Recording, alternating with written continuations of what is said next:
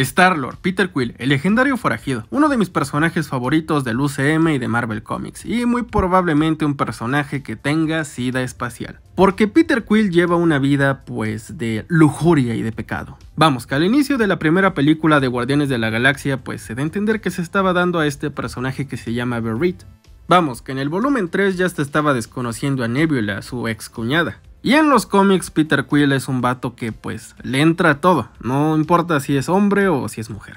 Si es un X-Men judía o si es un alien, a Peter Quill le gusta de todo. Y pues este tipo de vida le puede terminar dando a Peter Quill una enfermedad espacial. ¿O no? En este video hablaremos exactamente de esto. Para empezar, ¿qué es el SIDA? Bueno, el SIDA es causado por el VIH. El VIH es un virus que ataca las células, o bueno, deja su material genético en las células, de una manera invasiva y violenta. Este virus es lo que termina causando el síndrome de inmunodeficiencia adquirida, o sea, el SIDA. Este es un virus que se transmite de manera más mundana y común, pues al hacer el delicioso, porque no puedo usar el otro nombre, especialmente cuando la práctica con S se hace sin protección. Aunque dicho virus se puede transmitir de otras maneras, por eso en las prácticas clínicas te dicen que no le puedes volver a poner la capucha a la aguja y mejor la tienes que tirar en el recipiente de residuos tóxicos. Hay historias de terror de gente que se pica con la aguja. De hecho, uno de nuestros instructores en la Facultad de Medicina nos dijo que una de sus compañeras enfermeras se picó con la aguja pero afortunadamente pues no le pasó nada, pero sus otras compañeras enfermeras de más rango la regañaron bastante feo.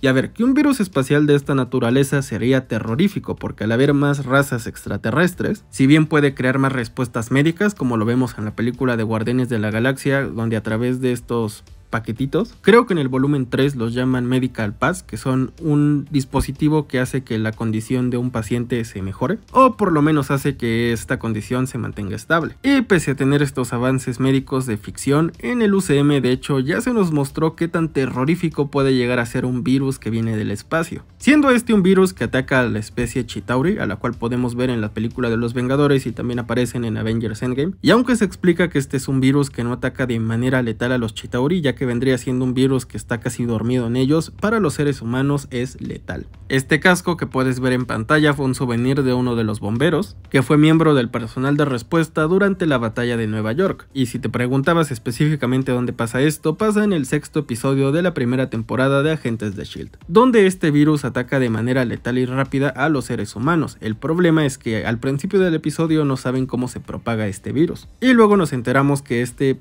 se transmite a través de un pulso electromagnético y una de las doctoras, la doctora Simmons, se termina contagiando y esto se transforma en una carrera contra el tiempo. Que aquí la proeza es que Star-Lord siguiera vivo después de tanto tiempo de haber estado en el espacio, ya que no solo aplican las enfermedades de índole ya sabes, también aplican cosas como gripes espaciales o cosas así. El mero hecho de que esté vivo es un milagro. Y ahora vamos a el otro tema. ¿Cuál es la posibilidad de que tenga una especie de sida espacial? Si bien no conocemos la historia clínica de Peter Quill, sí tenemos un vistazo a su vida privada. Vamos, que en la primera película este le presume a Drax sus marcas de guerra por haber estado con pues varias especies alienígenas, entre ellas se menciona que estuvo con un Kree, bueno, una Kree, y a esta Kree le es infiel con una Ascabariana. Bueno, no específicamente esta Kree, pero Minerva es la única Kree atractiva que encontré para mostrarles un ejemplo. El caso es que Peter Quill es básicamente el Matt Murdock espacial. Lleva una vida de excesos, lo cual muy probablemente haga que sí,